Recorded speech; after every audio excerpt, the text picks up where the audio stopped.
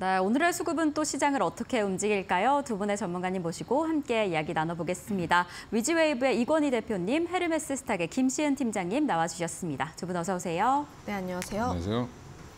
네, 두 분이 좀 나눠주신 한마디가 음. 좀 공통점이 오늘은 있습니다. 역시나 호실적, 실적의 수급이 들어올 것이다 라는 이야기를 해주셨는데 대표님 어떻게 보고 계실까요? 오늘도 실적, 음, 오늘도 수급이 뭐. 쏠리고 있나? 사실 뭐 팀장님이랑 똑같은 말이죠. 네네, 예. 같은 말씀 해주셨어요. 네, 실적 호전 섹터로 지금 자금이 이제 증시 대기 자금은 굉장히 많은데 사실은 안에서 돌아다니는 자금은 제한되어 있습니다 지금 그러다 보니까 뭐 개인 예탁금이 뭐 81조 CMA만 있다라고 지금 하는데 어, 이런 부분들 때문에 어떻게 보면 한쪽이 좋다 그러면 이쪽으로 가- 같이 거의 뭐 때로 이동하는 모습이 좀 보이고 있고요. 뭐 실리콘2 같은 경우도 실적이 좋다고 하니까 뭐 연이틀 거의 뭐 상한가 근처까지 가는 모습을 보이고 있는데 그 정도로 이제 이번 갑자기 색깔이 이렇게 바뀐 거는 실적을 밟고 올라가는 시장이 되- 됐는데 종목들이 실적이 좋은 종목들을 확인하고 올리는 이제 주가가 이런 모습이 좀 나오고 있고요.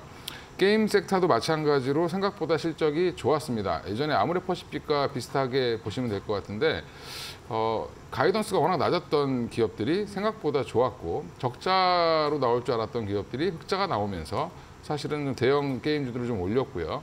그리고 끝나고 말을 잘했죠. 사실 요즘에 이런 거 이제 많이 따라 하는데 IR도 같이 곁들여서 지금 진행을 하기 때문에 어, 앞으로의 계획을 어떻게 얘기를 잘하느냐에 따라서 또 주가가 호전되는 모습을 보이는데 가장 대표적인 게뭐 펄어비스라든지 엔소프트가 그 예가 될 거고요.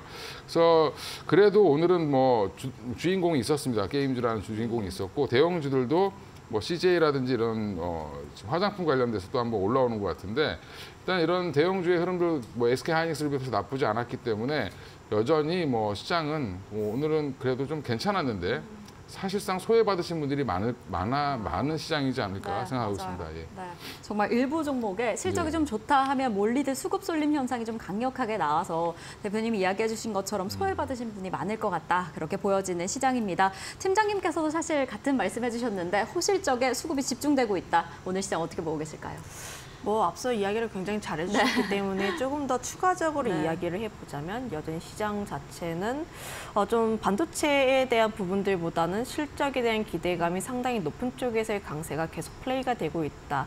어, 좀 금리 인하에 대한 기대감이 다시 한번 살아나고 있는 와중에도 불구하고 위험 자산 신호가 좀 어느 정도 살아있고 외국인의 매수세가 들어오고 있음에도 불구하고 어, 좀 하락률을 보게 되면 하락률 좀 높은 쪽을 보게 되면 반도체 소부장이 좀 높아요. 어, 여전히 반도체 좋다 좋다 실적 굉장히 좋다라고 했는데 왜 아직까지 안 가나요라고 보면은 엔비디아 실적을 좀 어느 정도 확인하고 싶어하는 심리 우선 첫 번째라고 보시면 좋을 것 같고 어, 두 번째로는 다음 주에 CPI가 예정이 되어 있습니다. 아무래도 그동안 경제 지표가 좀 높게 나왔다 보니까 결국 조금 더 확인을 하고 싶어하는 심리가 반영이 된 것이지 않을까라고 보여지고 있는데 어, 갑자기 오늘 뭐 게임이라든지 화장품 섹터 오늘 내일 갑자기 올라간 게 아니라 그동안 좀 반도체가 쉬어가는 국면에 있어서 실적이 좋았던 종목군들이라든지 혹은 섹터 혹은 이슈가 있었던 쪽에서의 수급이 계속해서 붙어가고 있는 양상이다 보니까 어, 결국 현재 같은 경우에는 개별주 종목 위주로 좀 움직일 필요가 있고 수급이 몰리고 있는 쪽에 대해서 좀 움직일 가능성이 굉장히 크게 나와 있다 보니까 어, 결국 현재의 키포인트 자체는 실적이 계속 잘 나오고 있는 쪽에 대해서 우리가 조금 더 집중해 볼 필요가 있지 않을까라는 의견 드려보도록 하겠습니다. 네, 아무래도 반도체 부분은 엔비디아 실적을 좀 확인하고 싶어하는 의도도 보이고 다음 주에 경제 지표를 대기하고 있는 상황이어서 조심스러운 움직임이 좀 보여지고 있는 상황입니다. 이러한 상황 속에서 실적이 잘 나와준다라고 한다면 그 부분에 수급이 쏠리고 있는 오늘 시장을 보이고 있습니다. 자, 그렇다면 또 이 기업과 외국인 투자자들은 어떤 기업에 더 집중하고 있을지 그럼 저희는 최윤 앵커와 함께 수급 상황 체크를 해보도록 하겠습니다. 네, 오늘 이 코스피 시장 안에서 외국인 투자자들은 2천억 원 넘게 담아가고 있습니다. 일단 오늘 시장에서는 삼성전자, SK하이닉스 가장 많이 담고 있고요. 세 번째로는 LG전자도 눈에 띕니다. 네 번째로는 KB금융, 그리고 다섯 번째로는 삼성생명 올라와 있습니다. 매도하는 기업들 살펴봤더니 첫 번째 기업으로는 HD현대일렉트릭, 그리고 두 번째로는 한미반도체 위치하고 있고요. 세 번째로는 CS윈드 올라와 있습니다. 네 번째로는 셀트리온, 다섯 번째로는 이수 페타시스 올라와 있습니다. 그렇다면 코스닥 안에서의 수급은 어떨까요? 함께 만나보시죠. 네, 오늘 코스닥 안에서는 펄어비스를 가장 많이 매수하고 있습니다. 두 번째로는 제룡전기, 세 번째로는 클래시스, 네 번째로는 알테오젠, 그리고 다섯 번째로는 데브시스터즈 올라와 있습니다. 일단 오늘 좀 눈에 띄는 게요. 게임주 중심으로 외국인들의 매수가 좀 들어오고 있다라는 게 눈에 띄고요. 매도하는 기업들 살펴봤더니 실리콘투 가장 첫 번째 자리하고 있습니다. 너무 많이 올랐던 탓일까요? 오늘 시장에서는 크게 매도 물량을 조금 내놓고 있는 상황이고 두 번째로는 HLB, 세 번째로는 엔켐, 그리고 네 번째로는 PSK 홀딩스, 다섯 번째로는 휴젤 올라와 있습니다. 그렇다면 기관 투자자들은 오늘 코스피 안에서 어떠한 기업을 사고 팔고 있을까요? 네, 오늘 기관 투자자들은 삼성전자는 매도하는데 SK 하이닉스는 매수하고 있습니다. 어떤 시그널일까요? 그리고 두 번째로는 NC소프트 올라와 있습니다. 역시나 기관 투자자들도 오늘 시장에서는 게임주를 담고 있는 모습 확인되고 있고요. 세 번째로는 HMM, 네 번째로는 한국전력, 다섯 번째로는 셀트리온 올라와 있습니다. 아, 그리고 매도하는 기업들 살펴봤더니 CS윈드 다시 한번 올라와 있고요. 금양이 세 번째, 그리고 네 번째로는 한화오션 올라와 있습니다. 오늘 현재 구간에서도 3% 이상 하락세 나오고 있는 상황이고 다섯 번째로는 카카오 올라와 있습니다. 그렇다면 오늘 코스닥 안에서의 수급은 어떨지 함께 만나보시죠. 네, 오늘 기관 투자자들은 또 실리콘투를 가장 많이 매수하고 있습니다. 그리고 두 번째로는 재룡전기, 세 번째로는 펄어비스 매수하고 있고요. 외국인과 기관의 동시 매수가 들어오는 기업이 바로 게임주 가운데서도 펄어비스 눈에 띕니다. 네 번째로는 비올 그리고 데브시스터즈 역시나 기관도 현재 담고 있는 모습 확인되고 있고요. 매도하는 기업들 살펴봤더니 반도체 쪽에 좀 집중되어 있습니다. 에이직랜드, TLB 올라와 있고 세 번째로는 TSE 그리고 네 번째로는 PSK 홀딩스 다섯 번째로는 한글과 컴퓨터 현재 자리하고 있습니다. 지금까지 수급 상황 함께 살펴보고 왔습니다. 네, 이렇게 기관과 외국인의 수급 상황 체크를 해봤습니다. 그렇다면 두 분의 전문가님들께서 집중하고 계시는 수급 특징주는 어떻게 될지 화면으로 먼저 만나보겠습니다. 자, 이건희 대표님께서는 넷마블과 원태 가져와 주셨고요. 이 김시은 팀장님께서는 오늘 특징주로 NC소프트와 SM을 잡아주셨습니다. 이 종목들 수급적인 특징 어떻게 가지고 있는지 한 종목씩 체크를 해보겠습니다. 자, 이건희 대표님께서 오늘 넷마블 가져와 주셨습니다. 지금 뭐 주가 흐름이 좋죠. 오랜만에 게임즈 잘 올라오고 있구나라고 보여지는데 수급 수급은 어떻게 보고 계실까요? 일단 외국 기관 네. 양쪽 다 지금 매수를 하고 있는 걸로 지금 나와 있는데 네. 일단 지금 넷마블이 그동안 이제 게임주 같지 않은 게임주였죠. 음. 예. 근데 그 오랜만에 게임주다운 게임주로 거듭나고 있는 상황이고요. 오늘 또 기사가 어제 하나 나왔던 공식 내용 중에 하나가 하이브의 지분 매각을 또 한다. 그러니까 물론 다 하는 건 아니고요. 한 2.6% 정도 보유주식의 일부를 매도하는 건데 드디어 이제 10% 아래로 내려갔습니다. 이제 9%대를 이제 갖게 됐는데 어, 점차 이제 아마 돈이 필요할 때마다 조금씩 나눠서 팔지 않을까 생각을 하고 있고요. 일단 뭐 하이브의 지분 매각은 투자 투자에서 수익을 거둔 거기 때문에 언제 팔아도 지금은 뭐 재무 구조의 개선이 되고 현금이 만들어지면 또 새로운 게임의 뭐 마케팅 비용이나 이런 비용으로 쓸 수 있기 때문에 긍정적으로 보고 있고요. 지금 넷마블 나 혼자만 레벨업, 뭐 실적도 생각보다 잘 나왔지만 나 혼자 레벨업 때문에 좀 주 그 주목을 받고 있죠. 근데 일 매출이 뭐 한 140억까지 나왔다라고 얘기가 지금 나오고 있어서 그럼 24시간 기준으로 140억이면 어, 계속 계산하면 어마어마한 돈이 나오겠죠.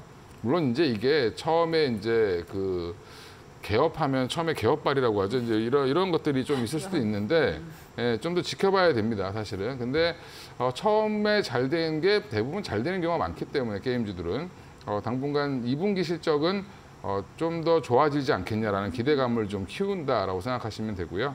그러면 당분간 조정이 나온다라고 하면 매수 관점으로 접근해 보셔도 좋지 않을까 생각하고 있습니다. 네, 오랜만에 또 이렇게 좋은 흐름을 가져가고 있는 게임주입니다. 지금 오늘 뭐 외국인과 기관의 수급도 음. 괜찮고 실적도 계속 탄탄하게 나타나지 않을까라는 이야기를 해주셔서 이 흐름 어떻게 이어지게 될지 조금 더 주목해 주시면 좋을 것 같습니다. 자, 팀장님께서도 오늘 NC소프트를 가져와 주셨습니다. 이 부분 어떻게 보고 계실까요? 굉장히 오랜만에 올라서 네, 그러게요. 특징주로 가지고 왔는데 오늘 뭐 실적 발표를 했습니다. 음. 그동안 시장의 기대치가 많이 낮았던 게임주가 생각보다 좋은 실적 내면서 다시 한번 움직이고 있는 모습이 나와주고 있는데 NC소프트 YOY 대비했을 때좀 많이 하락한 모습이 나왔지만 예상치 대비했을 때는 큰 폭의 상회를 하는 모습들이 나와주고 있어서 좀 바닥권에서 빈집털이를 하는 기분이라 보시면 좋을 것 같고 왜 외국인과 기관의 매수세가 계속 들어오고 있어요. 물론 이제 그 부분에서 실적에 대한 부분들도 있고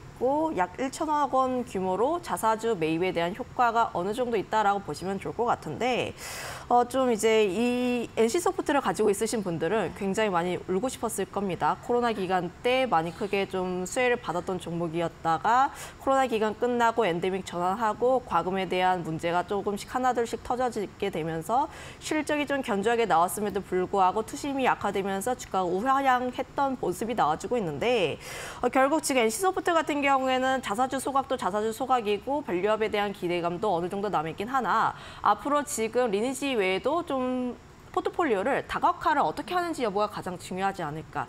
어, 컨설적으로 점점 더 나아가야 하는데 정부 측면에서도 계속 정책에 대한 드라이브를 걸어 나가고 있고 관련했을 때 지금 NC소프트가 이 부분에 대해서 기대감을 어느 정도 충족을 시켜줘야 합니다. 물론 NC소프트가 하반기 그러니까 6월부터 했을 때 신작을 출시를 하고 콘솔 게임도 진행을 한다라고 하긴 하나 좀 이 부분 같은 경우에는 실제로 잘 진행이 되는지 여부를 우리가 조금 더 볼 필요가 있다라는 좀 조심스러운 의견을 드려보도록 하겠고 어, 그 이유가 물론 게임즈 조금 더 움직일 것으로 보여지고 있습니다. 실 바닥권에서 움직이고 있고 넷마블 같은 경우도 좀 잘 움직이고 있다 보니까 어, 단기적으로 조금 더 움직일 것으로 보여지고 있긴 하나 NC소프트 같은 경우가 주가 그동안 많이 눌려 있었던 만큼 어, 매물대가 굉장히 두터워요. 그리고 지금 오늘 같은 경우도 120 121선에서 부딪혀서 좀 지지부진한 모습들을 보여주고 있는데 어, 최근 뭐 주가의 흐름들을 보게 되면은 주가가 우향, 우하향하고 있을 때 120선을 계속 뚫지 못하고 있는 모습이 나와줬습니다. 결국 장기적인 추세로 이 라인대를 강하게 뚫지 못하게 되면 어, 좀 추세적으로 전환이 좀 강하게 나오기는 좀 어렵다라고 보여지고 있어서 단기적으로는 120선을 어떻게 뚫는지 여부가 가장 중요하지 않을까라는 의견 드려보도록 하겠습니다. 네, 참 오랜만에 이렇게 움직이고 있습니다. NC소프트 그래도 외국인과 기관 투자자가 꾸준히 들어오면서 이렇게 상승세를 만들어낸 것 같은데 정말 더 강력하게 강한 힘이 있어야 더 큰 폭으로 상승하지 않을까라는 이야기를 해주셨습니다. 우선은 단기적인 측면으로 이 시장, 이 시장 안에서 어떻게 움직이는지 NC소프트 체크해 보시면 좋을 것 같습니다. 자, 그럼 이건희 대표님의 두 번째 종목 원택입니다. 원택 뭐 오늘 기관과 외국인, 외국인이 좀 특히나 많이 사들이고 있네요. 어떻게 보고 계실까요? 일단 좋게 보고 있고요. 네. 예. 어떻게 좋을까요? 지금 원텍. 클래시스가 호실적이 나오면서 갑자기 사실은 이틀 동안 이제 어제 폭발적인 상승을 맞아요. 했죠. 네. 참 재밌는 게 한 이틀 오르고 나서 이제 쉬죠. 예, 그러니까 너무 요즘 빠르긴 한데 어, 클래시스가 오랜만에 이제 저평가를 해소했다라고 보면 어, 그 다음에 지금 따라 올라오는 최근에 상장한 지 얼마 안 된 APR도 다시 또 급등을 하고 있죠. 이틀째 올라오고 있는데 원택은 어제 반짝 오르고 오늘 쉬고 있습니다. 예, 아주 기회를 주고 있다라고 생각하시면 될 것 같고요. 5월 14일 날 IR을 하는데 아마 그때 이제 실적 발표 이후에 IR까지 같이 진행할 걸로 예상을 하는데 조금 빨리 했으면 분위기 탔을 텐데 날짜를 잘못 잡은 것 같습니다. 예, 물론 이제 다음 주니까 어, 그때 할 때쯤 되면 또 한번 움직이지 않겠나 생각하고 있고요. 어, 혼자 클래스 혼자만 좋아질 수는 없는 상황이고 뭐 원택 같은 경우도 지금 영업이익률 꾸준히 올라오고 있고 기존에 판매된 올리지오 관련돼서 소모품들이 계속 많이 나가면서 영업이익률도 계속 올라오고 있는 상황이고요. 미국 FDA 뭐 그다음에 유럽시 중국의 CFDA 뭐 다 통과를 해서 지금 잘 팔고 있습니다. 그리고 최근에는 태국에도 진출을 해서 동남아시아의 거점을 만들었기 때문에 태국의 상류층을 노리는 것 같습니다. 아무리 봐도 네, 태국 상류층들은 거의 보면 우리나라 사람들 같이 생겼습니다. 어, 예, 비슷하죠. 예. 그래서 어, 이쪽에 진출을 해서 지금 처음에 기대보다 엄청나게 잘 팔리고 있어서 지금 굉장히 좋았다. 4월 달에 설명회를 했는데 어, 1분기 실적도 그래서 양호할 걸로 예상을 하고요. 실적 발표 이후에 한번 실적을 밟고 또 올라가는 종목이 되지 않겠나라는 기대감으로 갖고 나왔고요. 어제 외국인 기관이 많이 담았는데 오늘은 좀 끝나봐야 알겠지만 오늘도 여전히 좀 담지 않았을까 이렇게 생각하고 있습니다. 네, 정말 어제 오늘 클래시스가 워낙 강력한 힘을 보여서 이제 미용기기 전반적으로 같이 끌어주지 않을까라는 기대감이 있습니다. 미용기기 소모품이 많이 팔리면 또 미용기기도 많이 팔릴 것이고 그 선순환이 계속되면서 뭐 원텍도 좀 더 길게 가져가지 않을까라는 좀 기대감이 드는데 네. 이 종목 좋다라고 이야기를 해주셨으니까 좀 어떻게 흘러가는지 그 흐름 체크해 보시면 좋을 것 같습니다. 자, 그럼 팀장님이 가져와 주신 두 번째 종목은 SM입니다. 참 SM 오랜만에 보는 기분이에요. 방송 중에 또 이렇게 가져와 주셨는데 어떻게 보고 계실까요? 일단 뭐 단기적으로 엔터 섹터 같은 네. 경우에는 하이브 이슈로 인해서 단기적인 변동성은 나올 수가 있지만 하반기로 갈수록 좀 긍정적으로 보고 있다라고 보시면 좋을 것 같은데 제가 오늘 SM을 가지고 온 이유는 오늘 좀 단독 기사가 나왔습니다. SM이 손자 회사인 SM C&C와 키이스트를 매각하기 위해서 주관사 선정 작업에 돌입했다라는 내용이 라고 보시면 좋을 것 같고 물론 이런 내용들이 갑자기 나온 이슈는 아니고 지난해부터 계속해서 나왔던 이슈입니다. 매각에 대한 기대감이 어느 정도 나왔는데 SM이 본격적으로 좀 진행을 하게 되면서 기대감은 상당히 살아있다라고 보시면 좋을 것 같아요. 어, 비핵심 자산을 매각하게 된다면 208, 2,800억 원 정도의 마련이 가능한 구간이다 보니까 어, 기대감은 상당히 살아있다라고 보시면 좋을 것 같습니다. 결국 SM 같은 경우에는 어, 개별적인 이슈도 개별적인 이슈인데 결국 그러면 실적에 대한 부분이라든지 엔터 섹터에 대한 전반적인 부분들도 우리가 조금 더 체크를 해볼 필요가 있기 있습니다. 어, 지금 하이브 같은 경우도 보면은 좀 변동성이 나올 것으로 보여지고 있긴 한데 좀 17일에 어, 하- 민희진 대표가 자신의 해임안에 찬성하는 의결권 행사를 금지해달라는 가처분 결과가 어, 17일에 나오고 있는 만큼 이 결과를 조금 더 확인해 볼 필요가 있지 않을까라고 보여지고 있고요. 어, 다만 이슈가 조금씩 조금씩 희석이 될수록 엔터 본연의 가치에 대해서 조금 더 부각이 되지 않을까라고 보여지고 있는 게 어, 좀 엔터 섹터 주가가 좋았을 때 갑자기 논란의 기자회견이라든지 혹은 이제 하이브 측에서 이제 기사가 나오게 되면서 갑자기 다 같이 꼬꾸라졌던 그런 모습이 나와주고 있어서 결국 하반기로 갈수록 아티스트가 컴백을 한다든지 혹은 신인이 다, 좀 데뷔를 한다든지 다양한 이슈들로 인해서 좀 본연 가치를 받을 것으로 전망을 하고 있기 때문에 지금 SM이라든지 하이브를 비롯해서 엔터사들 같은 경우는 좀 눌려 있을 때 계속 관심 있게 볼 필요가 있지 않을까라는 의견 드려보도록 하겠습니다. 네, 정말 사실 하반기에 이 컨텐츠 자체로는 엔터도 잘 갈 것이다라는 예측이 좀 많았는데 예상치 못한 이슈가 빵 터지면서 좀 흔들리고 있는 상황입니다. 팀장님께서 이야기해 주신 것처럼 이 시점을 좀 기회로 삼으면서 잘 지켜보셔도 좋을 것 같다라고 이야기를 해주셨습니다. 자, 그럼 저희는 오늘 두 분과 여기에서 인사드리겠습니다. 오늘도 감사드립니다.